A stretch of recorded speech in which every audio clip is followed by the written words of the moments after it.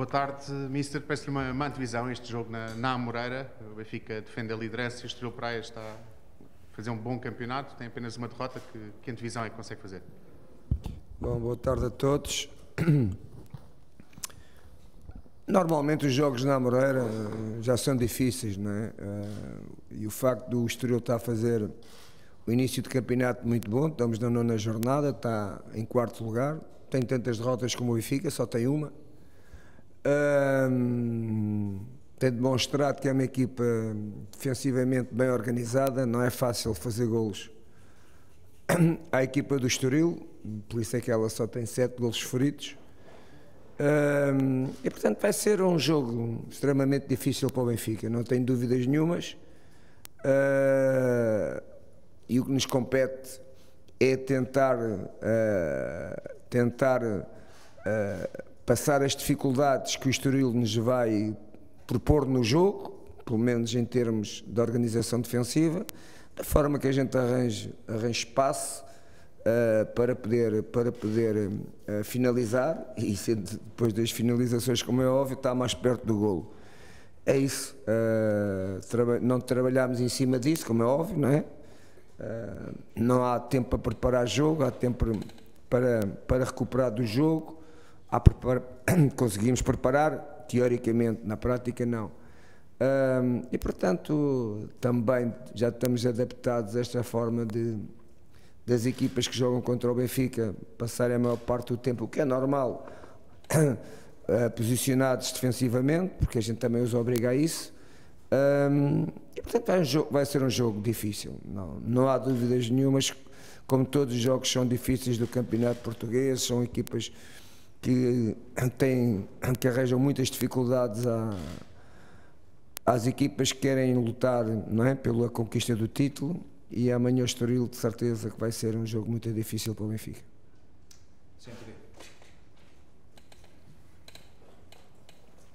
Boa tarde, Jorge Jesus, Pedro Prata, CMTV. Termina contrato no final da época e os adeptos do Flamengo têm exigido o seu regresso. Admite por isso um regresso ao Flamengo ou os benfiquistas podem ficar descansados que vai fazer uma boa campanha pelo Benfica e depois a prioridade passa por renovar? Bom, hum, já calculava que ia me fazer essa pergunta. Uh, aquilo que é importante para mim é que eu sou o treinador do Benfica, uh, tenho, tenho eu e, te, e, o Benfica temos objetivos bem definidos, queremos conquistar o, uh, objetivos, uh, já disse e volto a dizer, quer que a águia este ano possa voar alto da forma que possamos estar uh, sempre próximo de conquistar os títulos que, que a equipa do Benfica tem proposto, como é normal, e, e portanto não posso fugir desta, deste pensamento, porque o meu pensamento é, é o Benfica, é hoje, é amanhã e é todos os dias a pensar como é que poderemos melhorar uh, o Benfica. Agora, se me perguntar que eu fico satisfeito de ver um clube que eu já saí a acarinhar-me como sempre me acarinhou, só se eu fosse insensível, não é? Como não sou insensível, uh, aquilo são imagens que me tocam, como é óbvio não admito regresso nenhum. O meu regresso como treinador, nunca sei o que é o meu regresso. O treinador, ainda por cima, acaba o contrato. Um treinador tem, tem sempre. Eu não digo isto hoje, digo, digo, estou sempre a dizer: minha mala está sempre feita à porta. O treinador vive de resultados e, portanto, é isso. É, é, não, não, não, não pode ter um projeto definido, não é? Os resultados é que definem as carreiras aos momentos uh, do treinador e, portanto, eh, isso, o que é importante para mim é que neste momento o Benfica é a minha casa, vim para, vim para Portugal com, com, com um objetivo bem definido, sei bem o que é que quero. E agora o meu futuro, não sei, isso não, eu não sei, estou dependente dos resultados.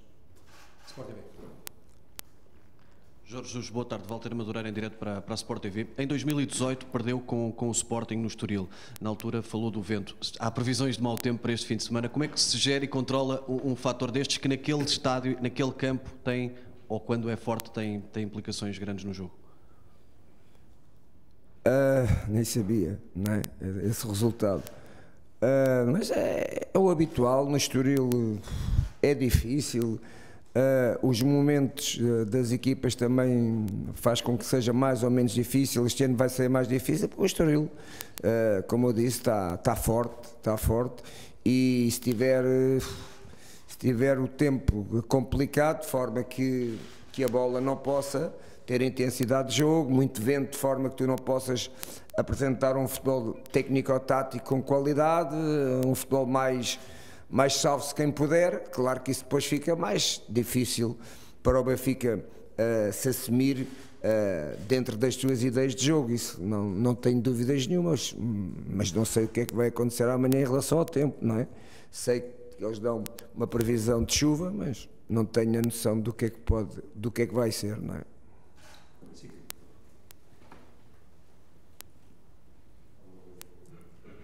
Jorge Jesus, eh, boa tarde, Rui Lavaredas SIC. Um, Faço-lhe uma questão, e já tem vindo a ser falada também nas últimas conferências, o facto do Benfica ter um pouco mais de dificuldade para, para vencer os adversários nestes, nestes últimos jogos, nomeadamente nestes, nestes dois últimos. Uh, este é um jogo em que uh, o Benfica tem uh, essa oportunidade para, para voltar a mostrar aquela, aquela qualidade e descansar os adeptos neste jogo frente ao quarto classificado, uma equipa poderosa? Não, os adeptos do Benfica nunca vão estar descansados não existe nenhuma equipa no tirando, tirando exceções que deixe os adeptos descansados. Os jogos ganham-se com muita dificuldade, seja as equipas que for, e muito mais em Portugal. Uh, nós, nós, Benfica, para ganharmos jogos temos que sofrer. Uh, nem sempre conseguimos uh, ter vitórias com score superior para dar, essa, para dar esse descanso. Já tivemos este ano, mas nem sempre isso vai acontecer. Uh, e muitas das vezes não vai acontecer, e amanhã sei que também não vai acontecer.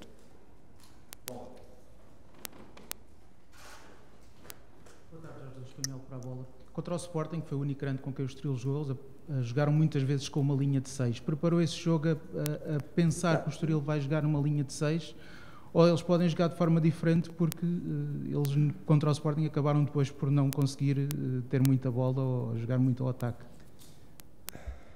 Você faz bem o seu trabalho de casa. É verdade que eles defendem com uma linha de 6. Uh, se calhar por isso é que uh, defensivamente é uma equipa que não é fácil uh, sofrer golos, por isso é que também uh, só tem 7 golos sofridos, menos 2 que o, que o Benfica e menos 3 que a defesa menos batida é que o Sporting que tem 4. Neste caso, mais 3, quero dizer, eles têm 7 um, e isso é, um, é, um, é uma justificação uh, que é uma equipa que defende bem, é uma equipa que nós vamos ter imensos problemas, por isso é que eu acabei de responder à pergunta do colega que o Benfica amanhã vai, vai ter um jogo sofrido, não tenho dúvida nenhuma.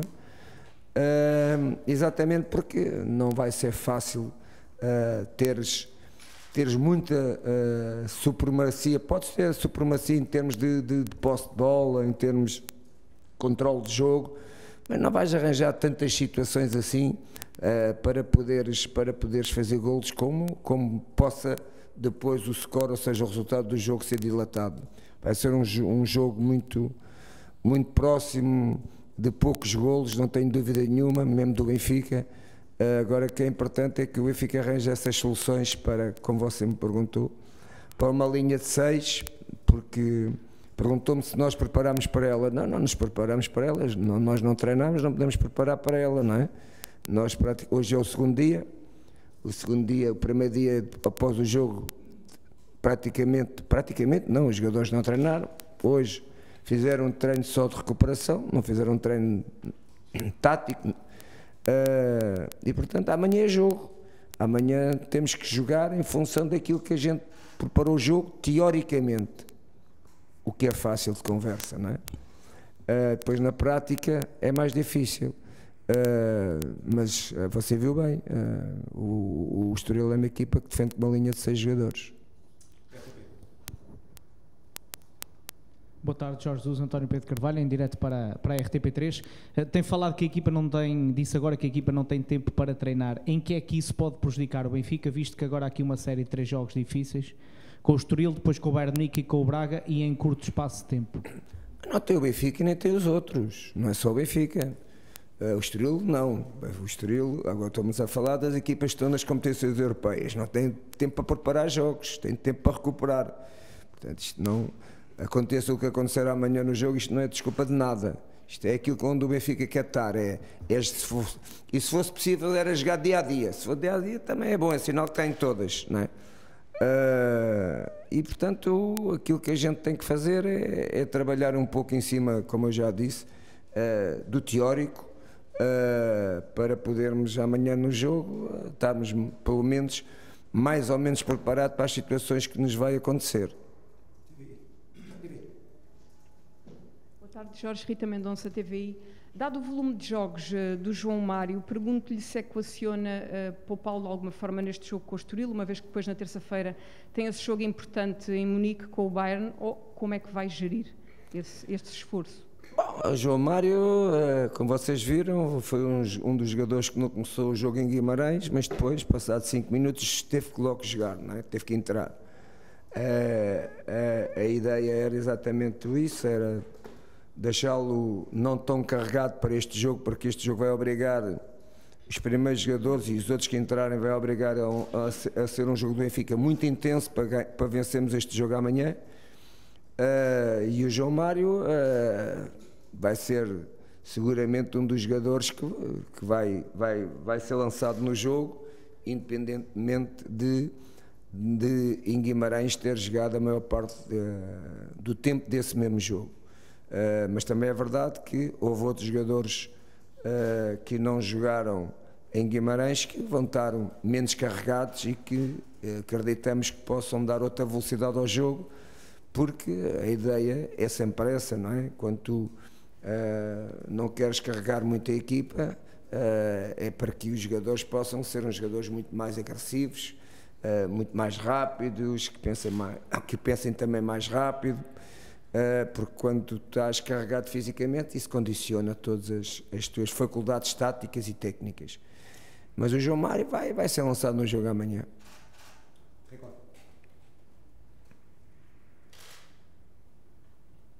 Boa tarde, Jorge Jesus, Rafael Soares, Record. Uh, o Jorge Jesus, no início da época, elogiou muito a forma como o Benfica estava a defender e, de facto, o Benfica estava a sofrer muitos poucos golos. Nos últimos cinco jogos, o Benfica sofreu nove. Uh, isso tem alguma coisa a ver com o que Jorge Jesus disse, por não haver tempo para treinar? Tem a ver com a rotação? Ou, ou não está preocupado com, com estes dados? Claro que estou. Uh, uh, é um pouco isso, não é? Tu começas a perder retinas, não, é? não treinas e começas a perder retinas. Se, me quisessem fazer a pergunta da mesma forma, o Benfica sofreu 14 golos, não é? desses 14 golos nas primeiras, em 18 jornadas. Estamos a contar com os, com os jogos todos, não é? Desses, uh, dessas 18 jornadas, metade sofreu nos últimos três jogos, não é? Uh, porque os outros, os outros, uh, os outros sete golos, não é? Sofreu em 15 jornadas. Nestas últimas três sofreu sete. isso tem a ver um pouco com aquilo que você está a dizer, o facto de não treinares, ter a retinas, também é verdade que os adversários depois também têm alguma influência nisto, também estamos a pôr aqui o de Nico, não é? é? e o jogo do Guimarães, não é? Um, e portanto tudo isso acresce uh, alguma dificuldade em perder retinas daquilo que é, que é a equipa defensivamente.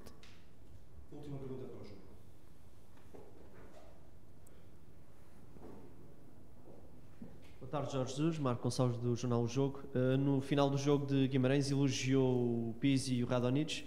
Pergunto-lhe, uh, é verdade que deixou dois habituais titulares Não foi ataque? só esses dois, também foi o, o Gonçalo, Gonçalo Ramos, Ramos. Mas a minha pergunta é sobre eles os dois. Se pensa precisamente que podem ser opções para o início deste jogo, para desequilibrar essa defesa a 6 ou essa linha a 6 do, do Estoril, o Rafa e Darwin estão, estão claramente, ainda que o Radonich tenha jogado na ala não mais na frente, mas Spies e.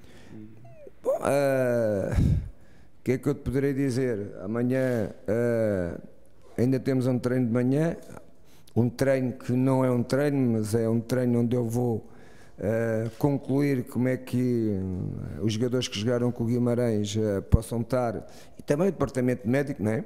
vai-me vai dar notas de, de, de, do estado físico dos jogadores que jogaram uh, e a partir daí uh, as, minhas, as minhas decisões vão ser baseadas um bocadinho, não em todos, mas em alguns jogadores, aqueles que jogaram mais tempo, o fator o fator desgaste do jogo do Guimarães para, para o jogo do, do Estoril, sabemos que são 72 horas e ao terceiro jogo tu ainda não recuperaste, não é?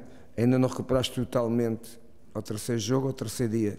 Após o jogo tu ainda não recuperaste totalmente do jogo.